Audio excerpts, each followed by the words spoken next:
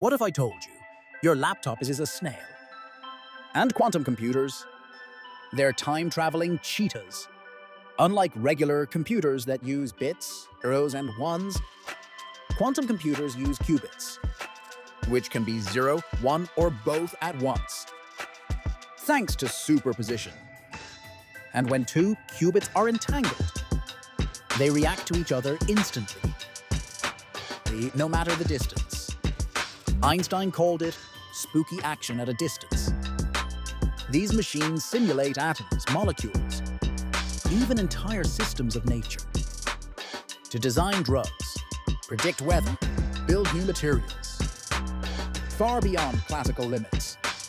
They could break today's encryption in seconds, but also create unhackable networks using quantum keys. And what do you think pairing quantum with AI?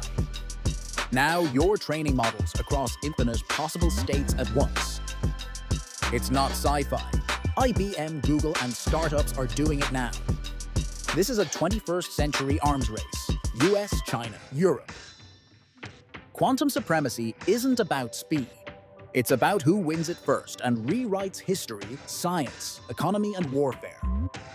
This isn't science fiction. It's already happening. You're not ready. No one is. Comment quantum if your mind just got upgraded.